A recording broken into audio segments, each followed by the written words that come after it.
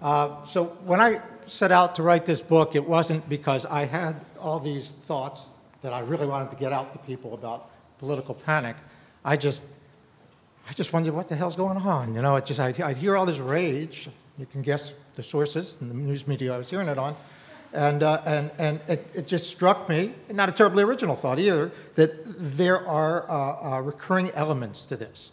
Some of you, if you know Arthur Miller's play The Crucible, set during the Salem witch hunts, uh, what was produced during the 1950s, obviously showing the connection between the Red Scare of the 50s and the Salem witch trial. But I, I really wanted to see how extensive are those recurring elements. Uh, and, and the question that, that I really was hoping to get to is why the political panics happen?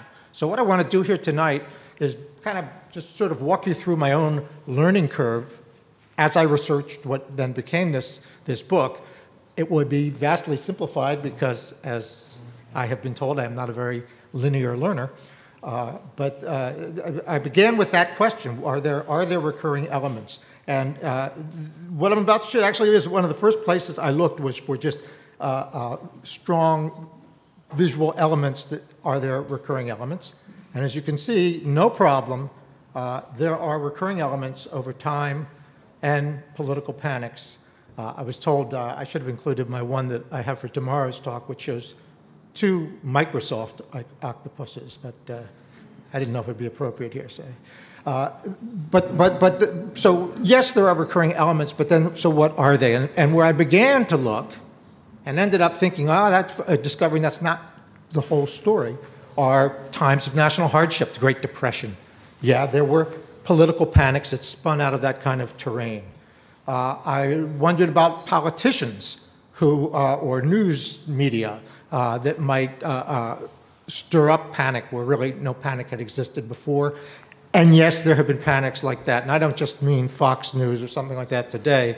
We'll be talking later about a, a panic over, of all things, the Freemasons, the guys who wear the fezzes and the sequins and all. Uh, a little known panic that was completely stirred up from, in that case, also the, the news media. Uh, I wondered about grassroots panic. Does sometime it happen, happen uh, at a grassroots level with economic conflicts, maybe of some sort, and bubble up from there? And yes, there have been uh, panics like that. This region, in fact, had one of the biggest. By this region, I mean the West Coast, uh, uh, about the Chinese during uh, uh, the mid 19th uh, century. And what I didn't think would be a category, I bumped into it in the course of research, but it's actually been the cause of a whole lot of panics, and that is times of national success. I'll get more specific about that a little further on, but where we have achieved something and the panic emanates from the fear of losing uh, what, what we've achieved. Whole other set of questions. This was all sort of my outset where I'm beginning and trying to sort through this was is, is, is, is, is political alarm necessarily panic? And clearly it is not. There were genuine reasons to be alarmed about terrorism in this country, uh, as we saw on, on 9 11. That is not necessarily panic. But this was panic. This was uh, the Ursuline convent in Somerville, Massachusetts, which was burned to the ground uh, uh, by a mob in 1834.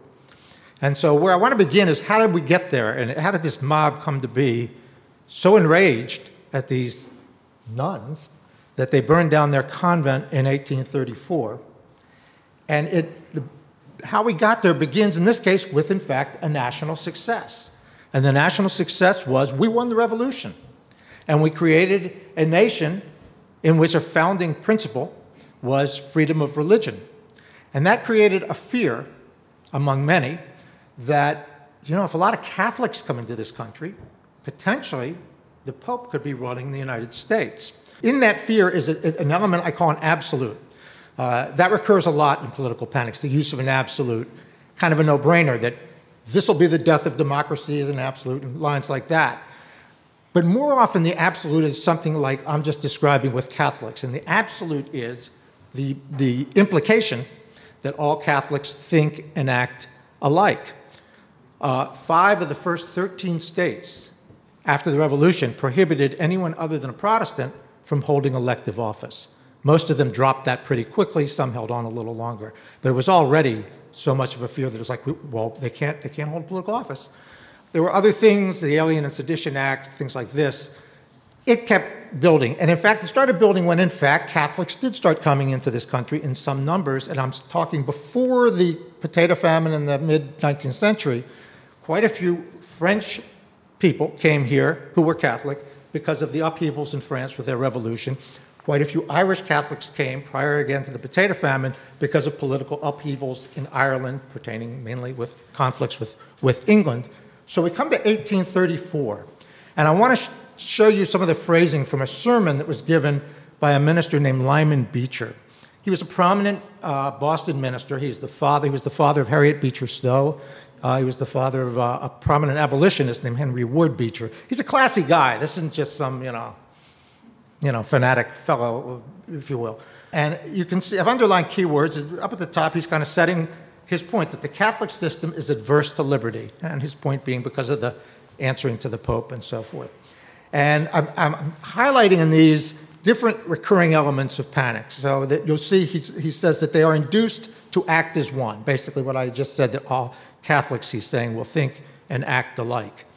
There's another uh, uh, recurring element, and we'll see more of these in the course of this talk, that I call a blank to be filled in. That is some statement uh, uh, where you, the listener or the reader, will fill in what it means. And in doing so, you can't help but have your fears and your needs participate in the way you fill it in. So it draws you in in a very individual way. In this case, it's where he says, How many presses might they influence by their promised patronage or threatened withdrawment? Uh, how many mechanics, merchants, lawyers, physicians in any political crisis might they reach and render timid? I don't know how many. He's not telling us. You'll, you'll fill that in based on your fear and needs of how influential Catholics can be. Uh, when I talked about national success, here it is right in his, his sermon. He says, It is the light of our pro Republican prosperity which is sending earthquake, I think he means earthquakes, under the foundations of their thrones, and they have, here comes an absolute, no hope of rest and primeval darkness, but by the, here's an absolute, extinction of our light. But here's where it really gets interesting, why I picked this particular sermon. He's now pivoting toward his climax, and he says, But if this nation is, in the providence of God, destined to lead the way in the moral and political emancipation of the world, let me stop right there. This is the one piece that I found of political panic that is uniquely American. I mean, political pa panics happen everywhere, but the piece that's uniquely American, this mission that he's referring to, uh, uh, there is a scholar named Sacvan Bercovitch, oddly enough, he's a Canadian, uh, who wrote a book called The Puritan Origins of the American Self. In it, he says that when the Puritans founded the Massachusetts Bay Colony, they had a mission. It was articulated by John Winthrop in a sermon coming across to this land, where he said that they would establish in this new country uh, a New Jerusalem, a, a, city on a hill. City on a hill is a phrase that John Kennedy used in his inaugural address, and Ronald Reagan used it in his farewell address. Very, very uh, much alive kind of imagery. And his idea was, and the Puritan mission was, that we would establish this, this, this, this New Jerusalem that would be a beacon to the world of a pure Christianity. And through that, it would bring the world to the one true way. Berkowitz's point is that by the time of the revolution, the colonists had secularized that mission and had replaced Christianity with liberty and democracy, so that now we would be a beacon to the world of liberty and democracy, and through that beacon, bring the world to the one true way. When I read that in Berkowitz a couple years ago, I remember my first thought was, wow, that's a really interesting point. And then this little voice in the back of my head said, but it is the one true way. Our way, you know, democracy and freedom, that, that, that is the one true way. It, it, even as I read the book, I couldn't shake myself, I still can't, of my belief in it. And I'm telling, sharing this with you to show how deeply inscribed this concept is in a lot of us, if not nearly all of us and that Beecher uses it. And then watch what he does. He is going to pivot into a blank to be filled in that is going to really get a lot of octane out of that, uh, uh, uh, that American perception. Where he says that, you know, if, if this is our mission in the world, he says, uh, it is time she understood her high calling and were harnessed for the work. The work is a blank to be filled in. What is the work? Within two days, it might have been the next day, I can't quite remember, but certainly no more than two, after he gave that sermon in Boston, a mob burned down the Ursuline convent across the Charles River in, in Somerville. Uh, uh, so that these things can be extremely potent and can operate, I think, in levels that people aren't always uh, aware of. Uh, I want to talk a little about Anna Ella Carroll, also still in, the, in, terms of the panic over Catholics, which was a really long and, and bloody uh, panic and, and, and, involved a lot of, of, death. But the piece I want to talk about here is, is whether, I don't know if Lyman Beecher was really panicked or not. My guess would be he really was. But sometimes I get the feeling people are using panic, availing themselves of it. And I'm not so sure if they're themselves really panicked. But you can't climb in someone's head, so it's hard to know. I think with Anna Ella Carroll, there's a lot of circumstantial evidence to suggest that she is a good example of someone who is availing herself of panic. Uh, she wrote a book in 1854 uh, which is about uh, uh, the same thing as Lyman Beecher, the fear that Catholics might control the country. She's specifically talking about the land, another national success that we got in the Louisiana Purchase. And who will be mo who's moving out there? And will we lose this land? She's arguing to the Catholics. One of the things that scared her in particular was they had no public schools yet out there, anywhere really yet in this country. Uh, uh, and, and among others, the Jesuits were very active in bringing schools to these uh, areas in, in, in, the Midwest. Anyone could go to a Jesuit school, uh, uh, and she thought, oh, this is all part of a, a, a, a plot by the Pope and so forth. Uh, the piece I want to hearken to in her book that, that, that, that, makes me think this is a brilliant use of panic is in her introduction. I'll read a few of these phrases. As a woman, I shrink with timidity Uh, uh, uh, and she refers to that refined delicacy to which she, woman, is assigned by nature. I have no aspirations to extend her influence or position. Maybe she's just being coy, you know, I don't know. But whether she's being coy or not, she has just described the role of women in mid 19th century America. And if you had to sum it up in one word, it would be unempowered. But when you have panic, you have a lot of passion. There's a lot of panic, uh, power out there. And if you can tap it, if you have the ability to tap it in just the right way, you can acquire some of that power.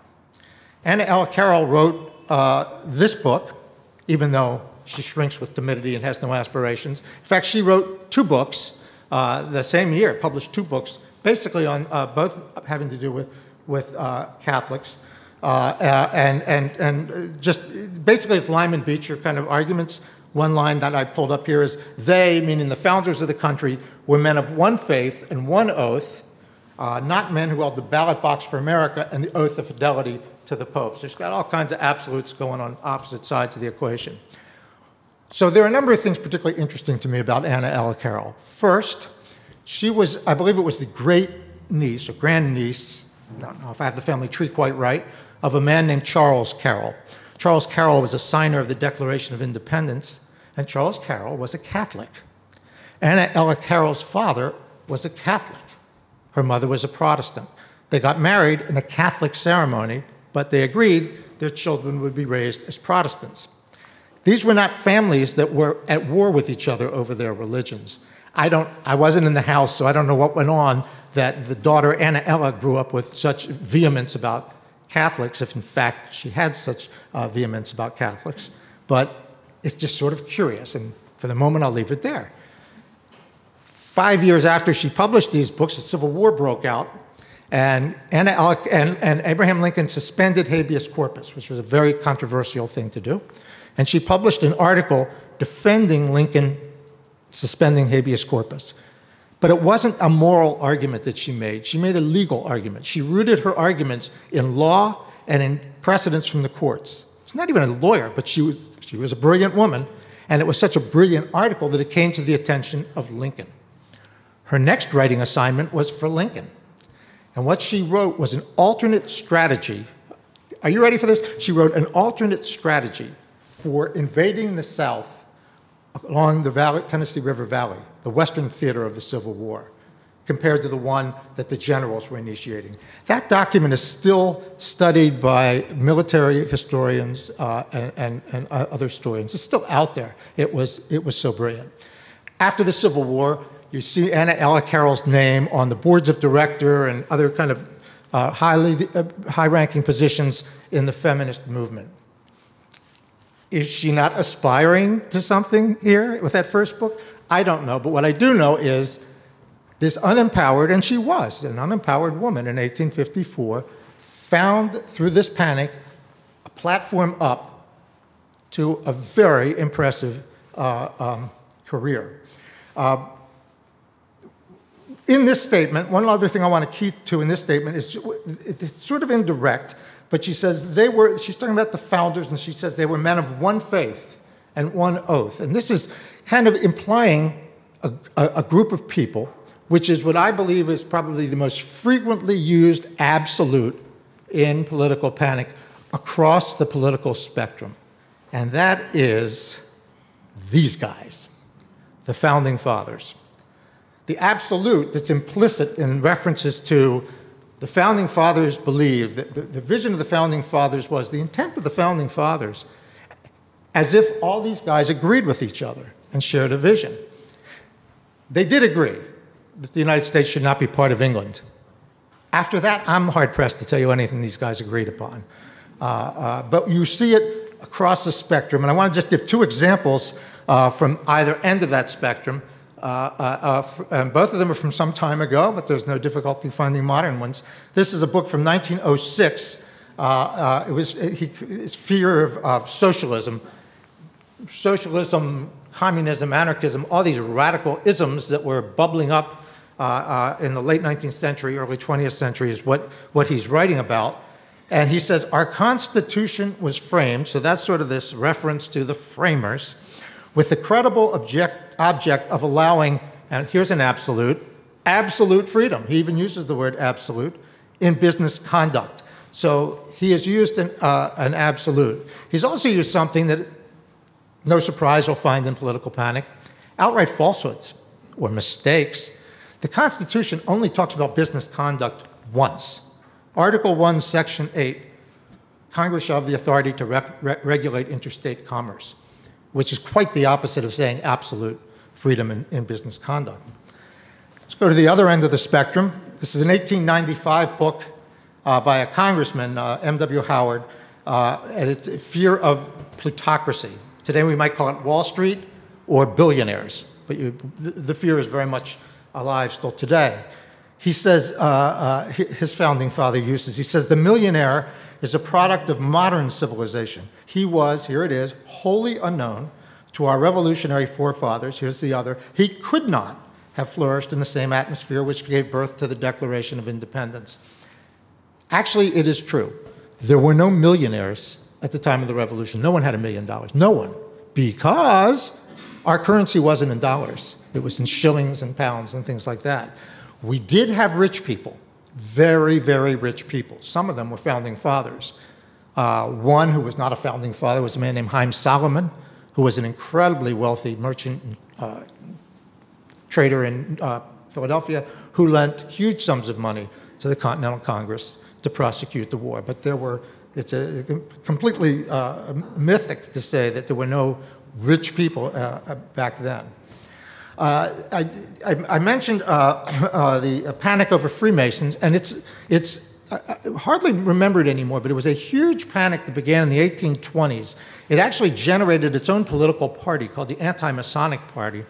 Uh, and it was a panic that, as far as I can tell, was totally manipulated, not so much by politicians, but by people aspiring to political roles from positions such as newspaper editors and things like that. Uh, the man I want to talk about here is, uh, uh, uh, oh, I see. Let me just explain what this picture is. Here's what spawned it. Uh, you don't necessarily have to read it. It, it, it. It's an event, I don't think we need to go into the details, but a Masonic lodge in Western New York. In the book, I talk more about how this came to be at this lodge. Got into a conflict with a guy. I'll just put it that way for now.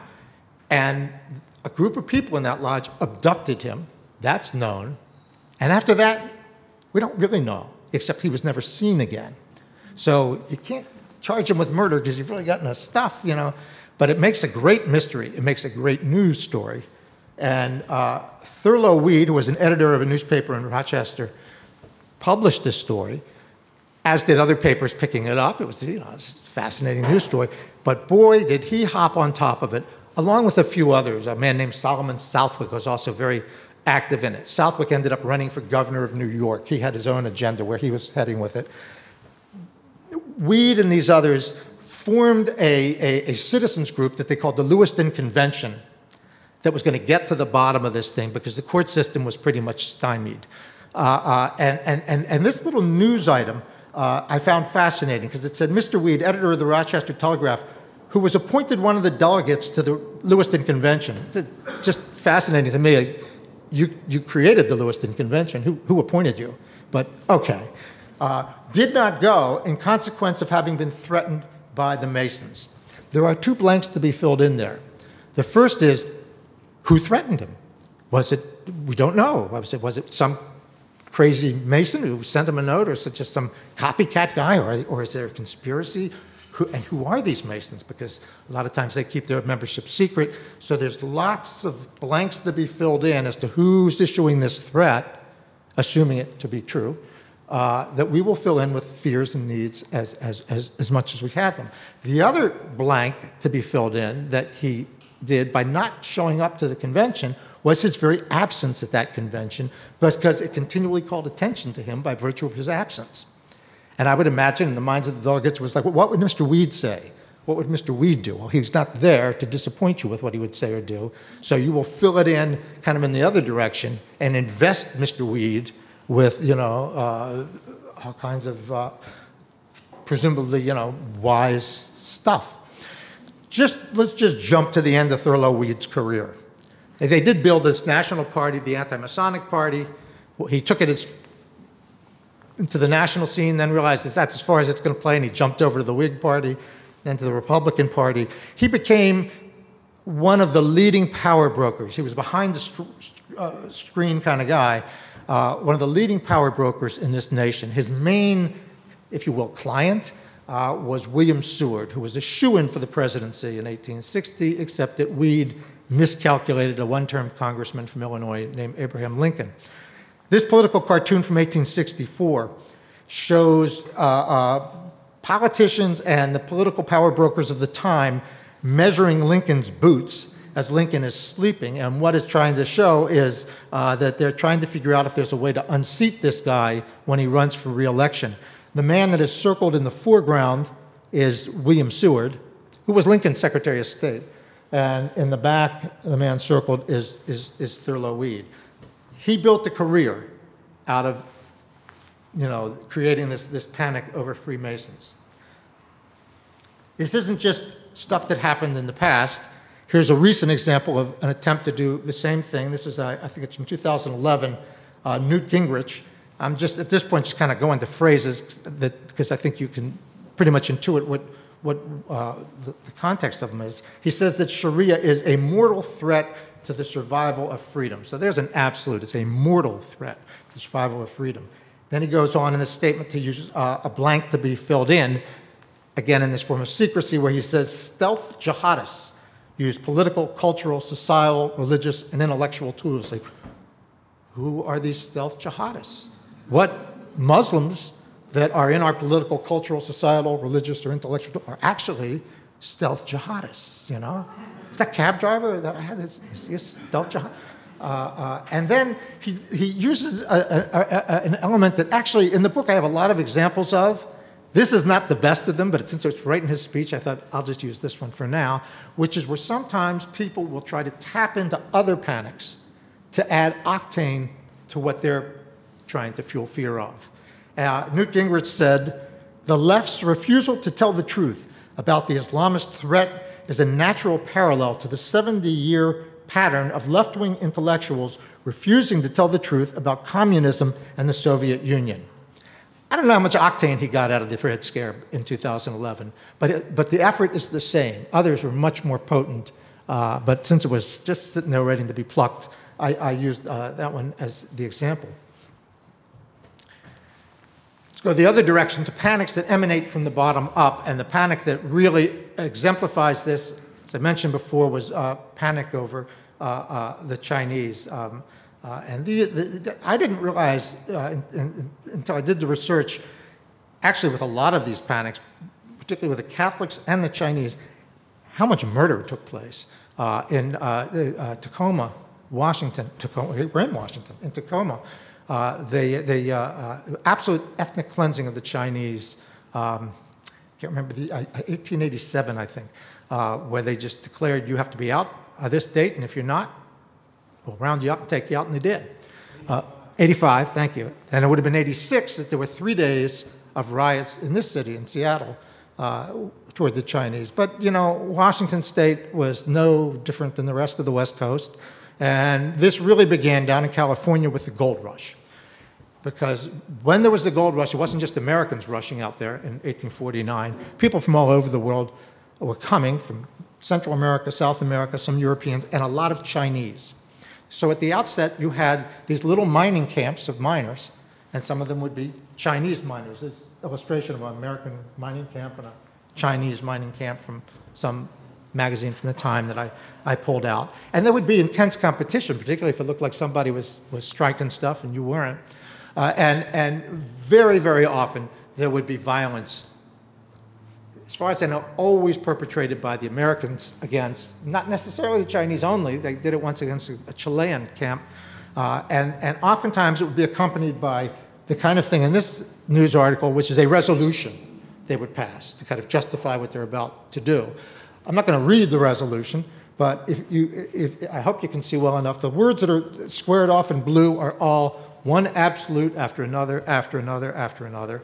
And here in black, I've put in uh, a, a, sort of founding father thing where they used to make reference to, and they put it in quotes, the inalienable uh, rights of Americans, hearkening to the Declaration of, of Independence. Uh, uh um, uh, Eventually, this spread from mining areas to uh, San Francisco uh, because at this point, Chinese coolie labor is being brought in by uh, big business, uh, uh, particularly to build the railroads.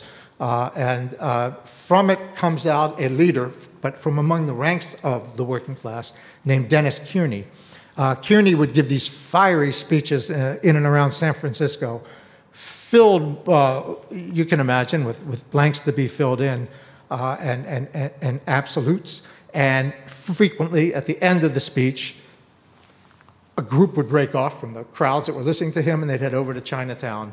And uh, as the illustration from the magazine shows, although it wasn't as quite as neat and clean and straight standing as that man, uh, they would just beat the hell out of Chinese. They would burn their homes, smash the windows of their stores, and so forth.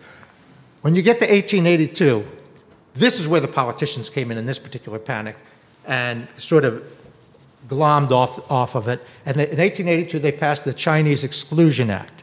This was the first time that the federal government had, had closed immigration off to a group of people solely because of their ethnicity. So here you have the federal government participating in panic. My definition of panic, I mean, I talk a lot about these elements. I refer to these elements as panic inducing. Just because you use an absolute doesn't mean you're panicked. But then when are you panicked? I don't know that there's a bright, shiny line. But where I do think it is clear that you have panic is when someone or some group of people say or do that which they fear. In the, in the Salem witch hunt, one of the first things that happened, these three girls were having these inexplicable fits, and they were deemed to be possessed by the devil.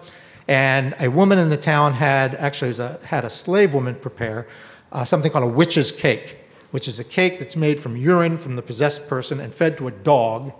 And it's believed that via the dog, the possessed person will spit out the name of the, of the witch that possessed her. The point is, she did that which she feared. Fearing that witchcraft was afoot in Salem, Massachusetts, she sought to combat it by engaging in witchcraft or in sorcery.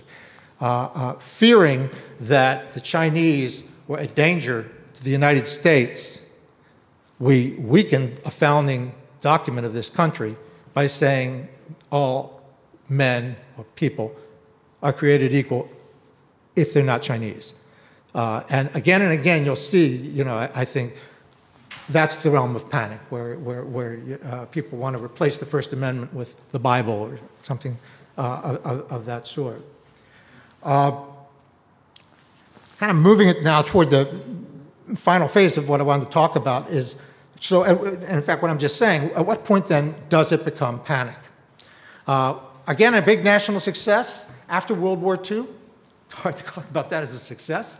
But after World War II, we, for the first time in our history, were the preeminent military and economic power in the world. And in 1949, that extraordinary achievement, part of it was that the rest of the world was flat on its back, but nevertheless, we had it. And in 1949, the Soviet Union detonated an atomic bomb. That was our big weapon. And the Red Scare kicked in in a way that made the previous Red Scare from the 1870s through the Palmer raids in the 20s look like a tea party. Uh, uh, there was, they discovered at Los Alamos Labs, where the bombs were developed, uh, a spy named Klaus Fuchs. He was a German uh, uh, uh, native immigrant, and he was spying for the Soviet Union. And that is not panic to say, this guy was a spy. We need to, to deal with him. There was a whole spy ring that they dealt with there. We don't have time to go into it, but as you look into those stories, it's a little more gray about so is it panic to send Ethel Rosenberg to the gas chamber for typing things her husband may have given her? What point is panic? So there isn't a bright shining line, but I can tell you that the bomb was 1949, and in 1950, this book was published called Red Channels, and this is panic. Red Channels was a book that listed, I'm not good on the numbers, I think it was 150 or 115 uh, people in mass media, uh, film and television, uh, uh or entertainment, who it said were either communists or uh, uh, suspected communist sympathizers. The list included, and it's with me, so I'll go. I'll just go from memory here. Leonard Bernstein, the conductor Leonard Bernstein, uh, Aaron Copland, who uh, composer of, of, Appalachian Spring, uh, Yip Harburg, uh, uh, a lyricist who wrote the lyrics for the songs in The Wizard of Oz. Orson Welles was on the list. Howard K. Smith, my favorite. If any of you are old enough to remember, a newsman from ABC, Howard K. Smith. The thought of Howard K. Smith uh, as a communist. It just uh, makes me grin. Uh, what this was is what we call guilt by association, probably a phrase you've heard. But I want to talk about the dynamic of guilt by association. Where does that dynamic, how, do, how does that work in the brain that that's so successful? And it's because it works on what really looks like a, a solid syllogism in some respects, though it really isn't. And uh, uh, uh, philosophers have a fun way of demonstrating guilt by association, which is syllogism such as this All cats have ears. Some of you may know this one.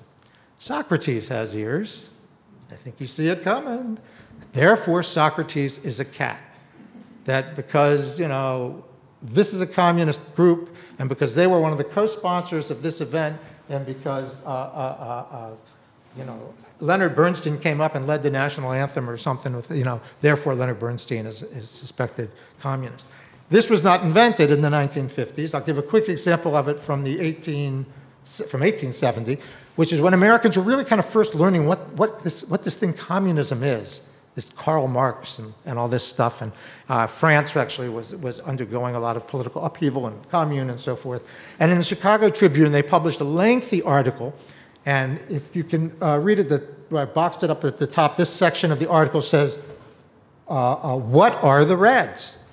to inform their readers. And they actually give a, a pretty good brief description of the essence of, of, of, of communism. Uh, the part I underline says redistributing property and taking all labor under the direct protection of the state. Okay. Then they go on one sentence after that to say it is the grand collective ignorance of the Chicago Working Man's Congress. Well, I don't know. What is the Chicago, where we go, it's at? So when I read that, I thought, well, let's see what the Chicago Working Men's Congress was. Maybe it's like this radical thing. Turns out it was a group of, of, of blue collar workers, if you will, that met in uh, Cincinnati. And they tried to plan ways to get other working men to vote for candidates that supported bills of interest to working people. And the bill that was most of interest back then was the eight hour workday. So here was their syllogism, their version of Socrates as a cat. Collective action is central to communism. The Cincinnati Working Men's Congress urges collective action. Therefore, the Cincinnati Working Men's Congress is communist. Uh, this still goes on. In 2012, uh, uh, uh, Michele Bachmann accused this woman, Huma Abedin. I'll just read from a letter she wrote to a fellow member of Congress. The mother, brother, and deceased father of Huma Abedin, Deputy Chief of Staff to Secretary of State Hillary Clinton, are connected to the Muslim Brotherhood and that she, by extension, may be working as, uh, on the organization's behalf. Still trying, but it's the same, it's the same uh, uh, uh, syllogism.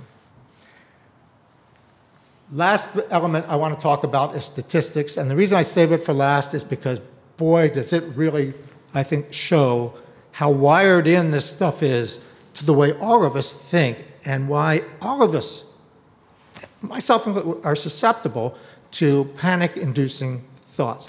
We don't necessarily all get freaked, but, but to those kind of thoughts. Uh, uh, there was this, this, of course, there have been a lot of studies like this, but this, this one goes back to 1896. Is a, a, a genuine scholar of the time, or academic at the time, and he did a correlational study where he took things like life expectancy, disease, uh, uh, crime, uh, alcoholism, various social things, and he correlated them to the different races.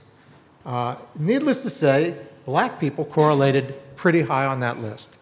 And his conclusion was it is not in the conditions of life, but in race and heredity that we find the explanation of the fact to be observed, here comes an absolute, in all parts of the globe, not enough, we'll go another absolute, in all times, and another absolute, among all races, namely, the superiority of one race over another and of the Aryan race overall.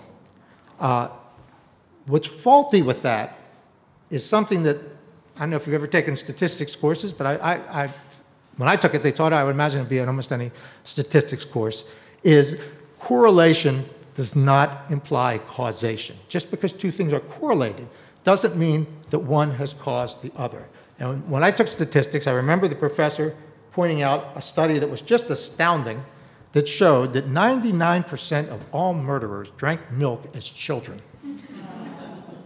Uh, but, it, but nevertheless, it is, it is something that's still used today and, and is very potent. Let me just give a quick example of, of a modern use of this, a little more subtly spun.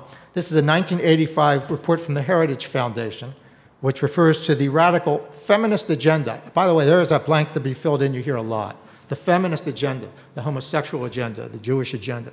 Fill in the blank with what you want.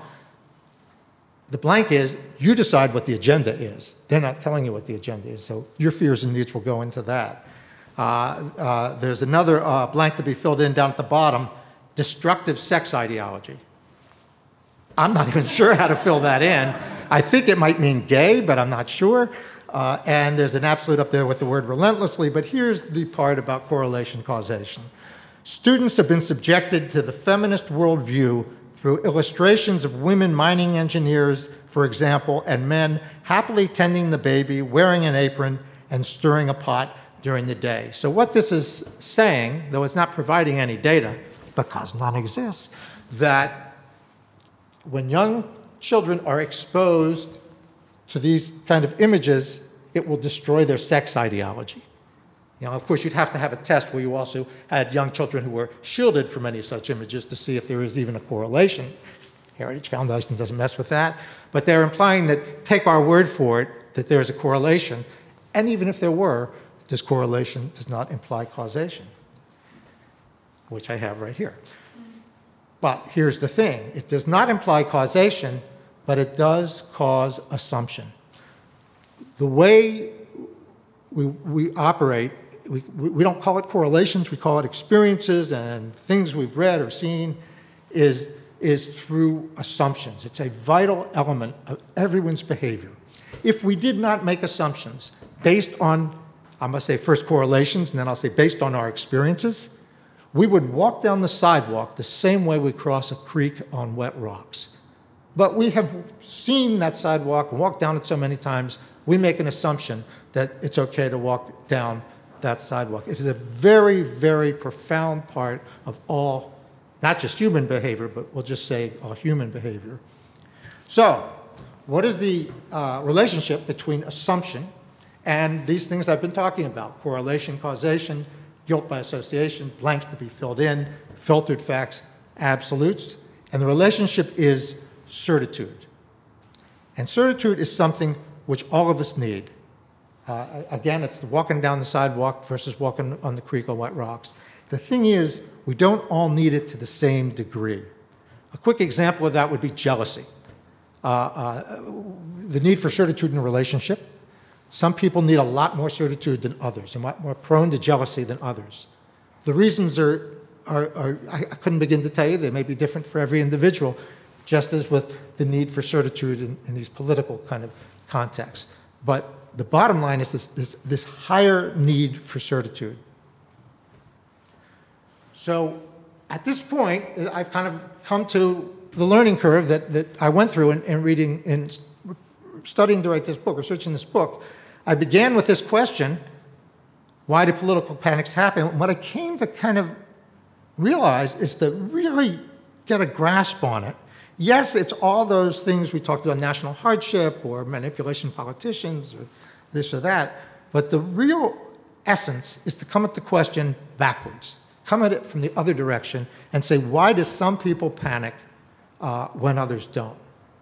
Uh, and, I think, and, and, and I think that in these elements I'm talking about, you'll see that all of them, absolutes, correlation, causation, fill in the blanks, uh, uh they, they, they all feed certitude for those people who need a great deal of, uh, of certitude. I think that's why political panics happen when those conditions are right for people to need that certitude. And political panics are certainly unpleasant. I haven't emphasized here, but they are also extremely dangerous. And people die. People have died in great numbers because there are people in this country who have, who have been panicked. So, if anything, this book can maybe do to get people to kind of just be more aware of those elements, boy, I will feel like I have, I have succeeded. So thank you very much, and I'm happy to take questions. Okay, um, are you alarmed at all about um, the ability for people to think anymore? Because as you, you're presenting these, I'm sitting here thinking, wow, I really have to read carefully to see that in there, it's so subtle. Mm-hmm. It sucks you right in. And I find less and less, I mean, I, I'm in a position where I hire young people, that so many people are, um, to use a phrase, um, no, that they're uh, amusing themselves to death. Neil Postman, I think, said that. Mm-hmm, mm-hmm. And um, they're so connected to media and being entertained that um, this whole inability to actually see these this brainwashing that's going on, going on, and also to know the difference when it is brainwash and when it's actually factual. Yeah, well, sometimes it's very hard to know because the information isn't there, uh, particularly if the government or some group is, is withholding it. Um, I don't know if I'm concerned or not. I, I you know, uh, uh, I, I, taught, uh, I've, I've, done kind of adjunct teaching at universities, and I remember going to a meeting when I was teaching at American University in the English department about should we be correcting. At first, I thought this was an astonishingly stupid question. Should we be correcting grammar and spelling on college papers?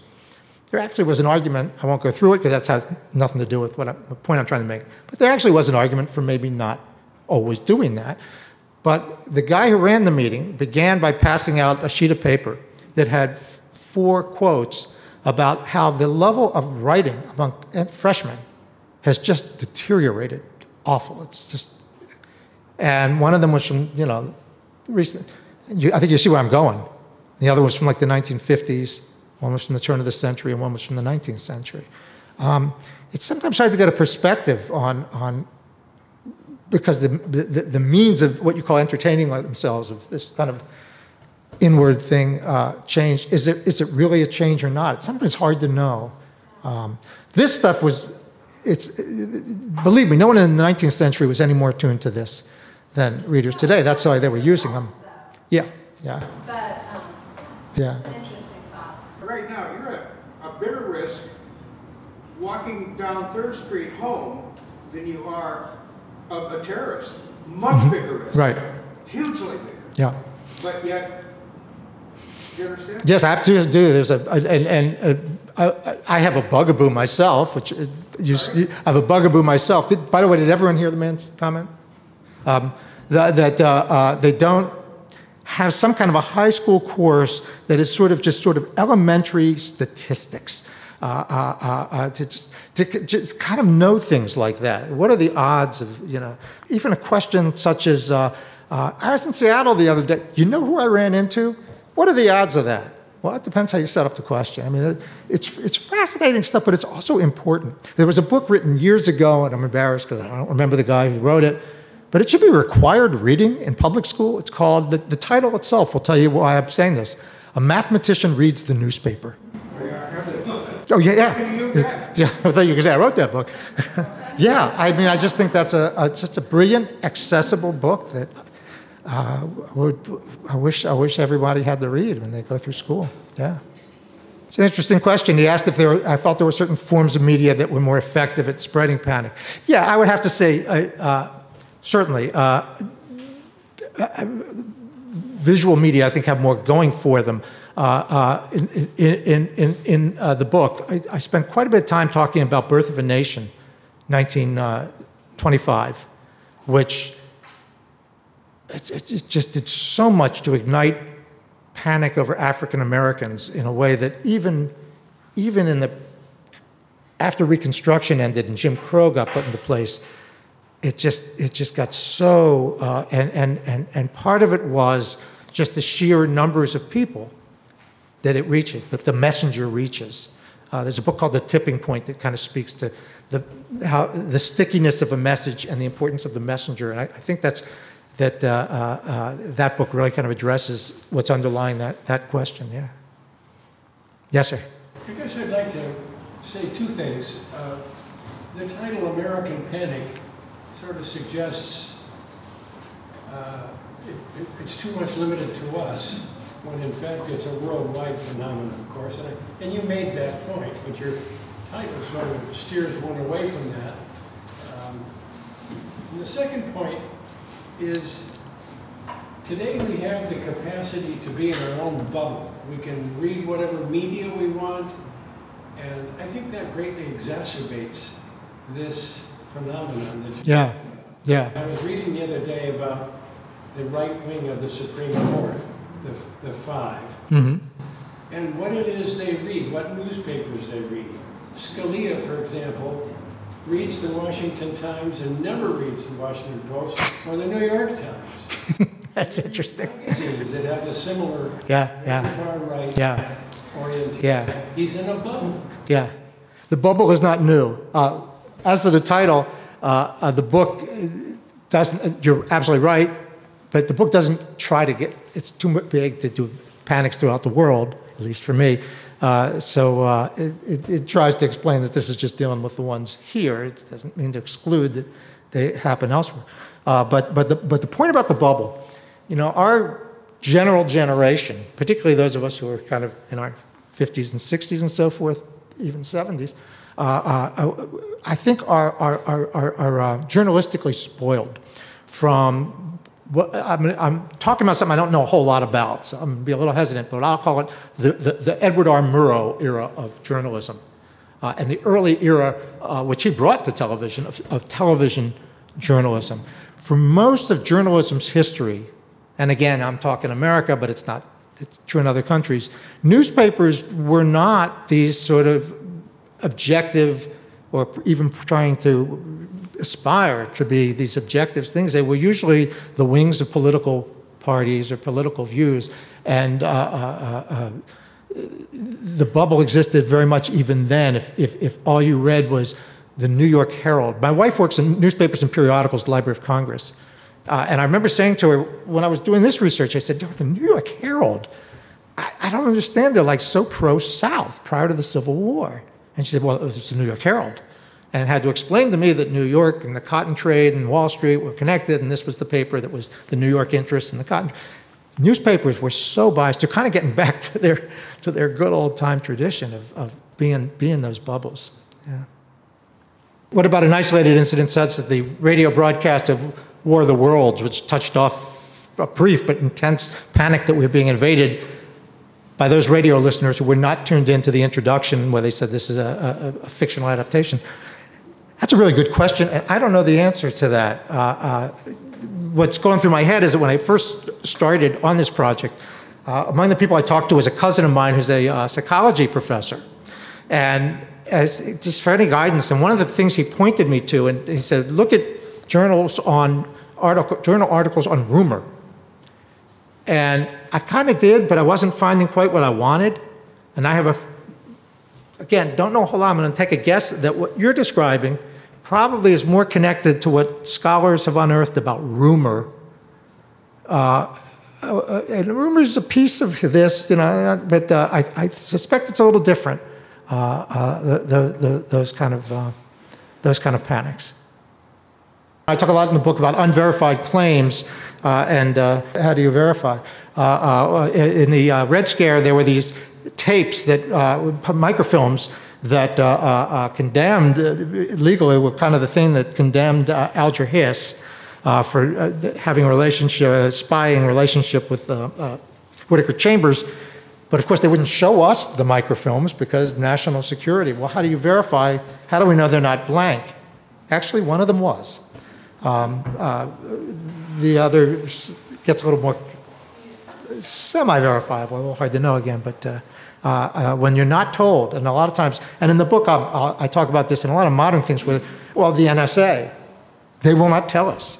You can kind of understand why they might not tell us, but the very act of not verifying something, or keep it, that becomes this powerful block, black block, blank, thank you, to be filled in. Um, his question was, is there anything that has diffused or dispersed the panic? I have a better answer second, but I'll start on the Chinese, was, was uh, as Japan rose as a power, in Asia. And we came to be more concerned about Japanese aggression, military aggression as a foreign policy. Panic over Chinese Americans uh, started to decrease. In fact, there were all these articles that would say, uh, you know, the, the Japanese Americans who were coming there, they're, they're, they're, they're filthy. Even the Chinese don't like them.